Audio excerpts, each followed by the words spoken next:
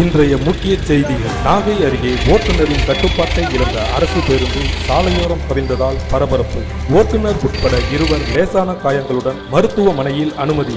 அதிர்ஷ்டவசமாக உயிர் தப்பிய பயணிகள். சென்னையில் இருந்து திருத்துறைப்பூண்டி நோக்கி நேற்றிரவு அரசு பேருந்து ஒன்று புறப்பட்டுள்ளது. அப்பேருந்தானது நாகை திருத்துறைப்பூண்டி கிழக்கு கடற்கரை சாலையில் இன்று சீராவட்டம் பாலம் அருகே சென்றுள்ளது. அப்போது எதிர் திசையில் வந்த லாரி மீது மோதாமல் இருக்க முயற்சித்த பேருந்து ஓட்டுநரின் கட்டுப்பாட்டை இழந்த பேருந்து சாலையோரம் கவிழ்ந்தது. தொடர்ந்து பேருந்து முகப்பு மற்றும் ஜன்னல் கண்ணாடிகள் உடைந்ததால் பயணிகள் அச்சமடைந்தனர். தொடர்ந்து பேருந்தில் பயணித்த ஒன்பது பேரும் அதிர்ஷ்டவசமாக உயிர் தப்பிய நிலையில் ஓட்டுநர் அன்பரசன் உட்பட பயணியான தெற்கு பொய்கை நெல்லூரைச் சேர்ந்த வசந்தி ஆகியோர் கால் மற்றும் தலையில் லேசான காயங்களுடன் நாகை அரசு தலைமை மருத்துவமனையில் சிகிச்சைக்காக அனுமதிக்கப்பட்டுள்ளனர். தொடர்ந்து கிரேன் மற்றும் மீட்பு ஊர்தியின் உதவியோடு பேருந்து மீட்கும் பணி தீவிரமாக நடைபெற்றது.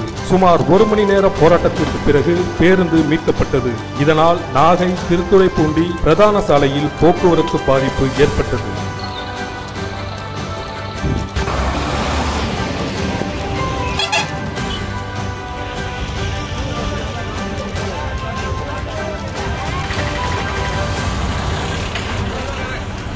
மூச்சு அடிச்சியா